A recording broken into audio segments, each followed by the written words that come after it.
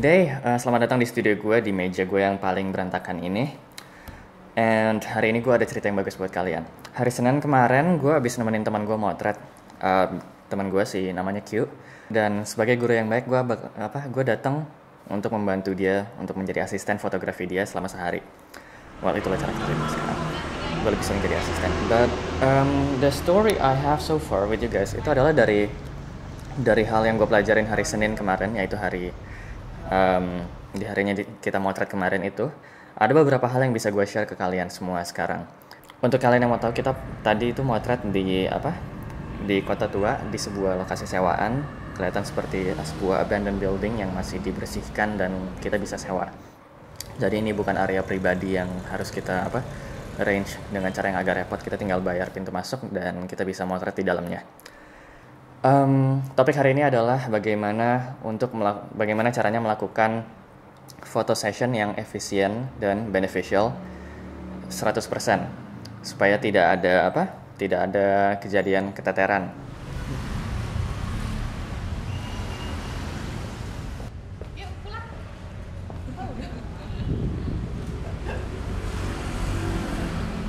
Gimana? Masih aman kayak? Masih aman kan begini? Iya. Nah, bisa di develop itu. Oke, tahu. Tips number one, be on time.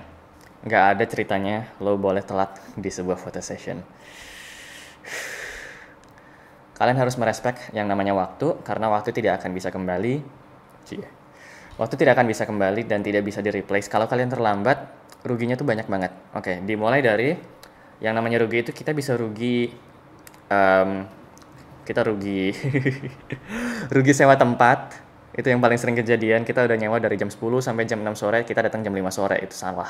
Oke kita cuma punya waktu minus satu jam. Satu jam doang gua anggap minus itu saking hancurnya Em, itu bisa kita bisa rugi di waktu penyewaan. Kita juga bisa rugi kalau aja kita motret di outdoor dan kita me- membutuhkan cahaya matahari. Kalau kita terlambat, cahaya matahari akan berubah dan itu akan menjadi sangat merugikan. Kalau fotografer kalian bilang kita harus motret jam segini di lokasi ini, itu ada alasannya. Bukan cuma karena ingin menghemat waktu atau menggunakan waktu secara efisien, tapi mereka mengerti cahaya dan kamu harus bisa menghormati itu. Dan, well, the other way around itu juga sangat berarti.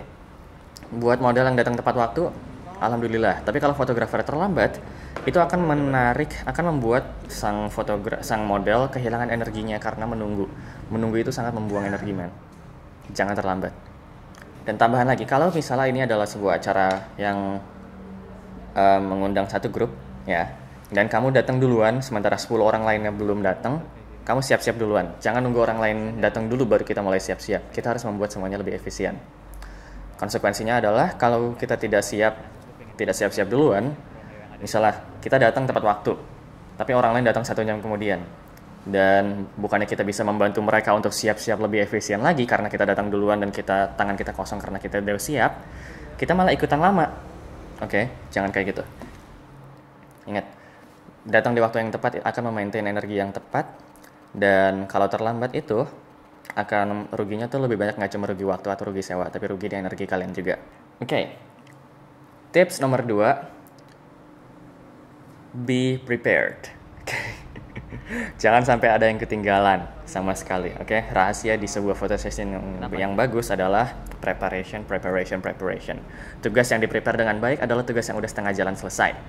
Jangan coba-coba mikir kalau lo bakal siapin besok pagi pas lagi sahur oke? Padahal motretnya di hari H juga. Over preparing itu bagus, jadi kalau kita uh, terlalu siap, kita menyiapkan terlalu banyak untuk sesuatu yang ternyata dilakukan secara simple, itu bagus. Kejadiannya di hari Senin kemarin adalah karena apa? Karena kejadiannya, karena kegiatannya diundur, ada yang terlambat di situ. Em, kita jadi setelah mempersiapkan selagi gue sama Q menunggu, gue sempat ngajarin Q cara menggunakan light meter sampai selesai. Sampai gue sampai ngajarin cara menggunakan lighting, flash dan diffuser dan segala macamnya selengkap mungkin. Tapi ujung-ujungnya itu nggak kepake karena karena pas kita motret itu cahayanya eh bukan waktu yang kita pakai yang kita punya untuk penyewaan udah mulai berkurang dan cahaya yang ada pun udah mulai berubah. Jadi kita hanya memakai natural light dan kita lakukan dengan cepat dan buru-buru. Ujung-ujungnya kita prepare untuk sesuatu yang yang kita harus yang kita antisipasi yang mungkin tidak mungkin kita nggak tahu bakal kejadian kita harus lebih siap lagi. Kalau misalnya ada sesuatu yang nggak nggak kita expect untuk kejadian ya. Dan untuk bagian preparation untuk uh, selalu harus ada backup plan. Misalnya kalau misalnya kamera yang kita pakai itu uh, bermasalah backup plannya adalah pakai kamera temen lo. Mungkin ya itu tujuan lo bawa temen buat motret juga kan. Kadang-kadang kamera kamera kita bermasalah mungkin baterainya habis duluan tanpa kita ketahui autofocusnya rusak atau memory card kita corrupt. Belum jalik So always have backup plan. Berlaku juga buat cosplayer atau model. Kalau misalnya apa ada yang ketinggalan, pastiin ada backup plan. Misalnya kalau baju kalian ketinggalan, mungkin kalian tahu kalau di lokasi pemotretan akan ada toko baju yang lumayan murah dan kita dan kalian bisa apa langsung mencari penggantinya at that exact moment. Okay, there's no reason not to be prepared. Harus over prepare pas kita pas gue sama Kiko datang kemarin bahkan kita sampai bawa light stand dan flash dan payung yang ujung-ujungnya kita nggak pakai karena wah kejadian. Tapi ada untungnya kita over prepare oke okay, tips number three. Communication. Um, salah satu kelemahan yang kita miliki sebagai fotografer ketika kita motret terutama kita mis well gue akan targetin cuma orang-orang yang baru aja deh. Adalah kita kalau motret suara kita agak rendah. Dan kita kalau mengarahkan model model mungkin gak dengar kita. Sementara kalau model yang suaranya tinggi tinggi banget gitu suara mereka bisa kedengeran ke kita tapi suara kita nggak kedengeran ke mereka karena suara kita rendah kah atau begitu? Mungkin mereka lebih berpengalaman untuk teriak-teriak daripada kita. However uh, the point is kalian harus bisa berkomunikasi. Nggak hanya di apa selagi pas motret tapi sebelum dan sesudah session komunikasi harus tetap terjalin. Misalnya kalau misalnya kalian terlambat ya dan kalian tidak ngabarin kalau kalian terlambat, everybody gets everybody's gonna freak out, really. And telling everyone about it is at least gonna be a little bit of help and everybody's it's gonna lessen the freaking out, guys. Um, communication is most most important. Kalau kalian ada ide tapi kalian nggak komunikasikan, pasti nggak akan ada uh, nggak uh, akan ada realisasinya. Jadi, jang, kalau ada apa? Kalau ada kenapa-napa, kalau ada uh, concern apa pun, beritahukan kepada semua anggota tim di kegiatan kalian sebelum hari H, sebelum kejadian, dan kalau bisa selama-lama sejauh mungkin sebelum kejadian. Misalnya kalau di hari H kalian tiba-tiba batal, kabarin jangan pas di hari H, itu ngeselin dan kita semua akan nge-blacklist kalian dari kegiatan photoshoot berikutnya. Uh, extra tips buat yang namanya komunikasi. Um, komunikasi yang baik adalah itu akan membuat apa akan menaikkan energi semua orang di apa di lokasi kalian. Untuk orang yang ngomongnya mungkin kayak misalnya kalau ngeliat model kayak ya coba putar ke sana tangannya diangkat coba ya ngadep ke sana. Bukan ke sana. Ke sananya gue maksudnya ya energi itu lo akan hancur. Oke okay. lo mau kayak gitu lo, lo lo mungkin lo harus bayar modal lo 2 juta ke atas supaya lo mau dipotret lagi. Eh supaya mereka mau dipotret lagi sama lo. Tapi kalau lo keluarin energi yang lo harap mereka akan keluarkan juga kepada lo well lo tau apa yang lo yang lo harus lakukan. Lo harus menjadi orang yang lo anggap orang lain juga mau. Jadi misalnya kalau lo pengen modelnya energetik lo harus jadi apa orang yang energetik juga supaya modelnya akan memimik energi kamu itu tips juga dan juga um, komunikasi gunakan bahasa lebih dari satu gunakan lebih dari satu bahasa. Yang gue maksud adalah kalau misalnya kita ngomong ke sesama fotografer, beberapa fotografer akan ngomong dengan istilah yang kuno, zaman film, ada yang dengan istilah baru, zaman digital, dan kita akan ala apa? Kalau kita bisa crossing bahasa itu, kita akan bisa berkomunikasi antar fotografer dengan baik.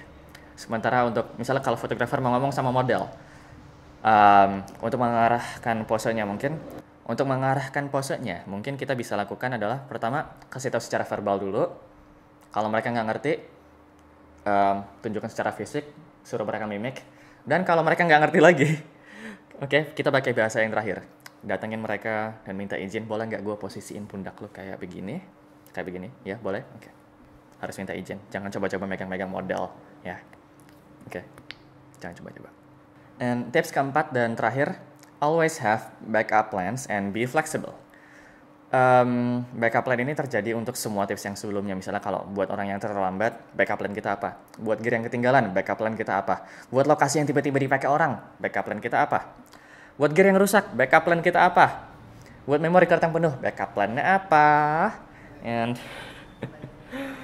the the possibilities are endless. See, what what do I have in my list here?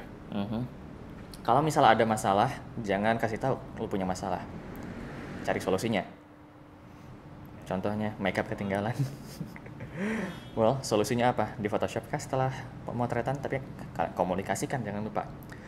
Masalahnya mungkin apa? Handphone ada yang ketinggalan, komunikasikan bahwa handphone itu ketinggalan. Lagi nih, kita udah bilang tips sebelumnya kan be prepared, always over prepare. Kalau ada handphone ketinggalan, balik lagi kabarin kalau handphone ketinggalan pakai handphone yang lain mungkin. Ingat jangan kerja sendirian kecuali lo apa over prepare lo udah pede banget.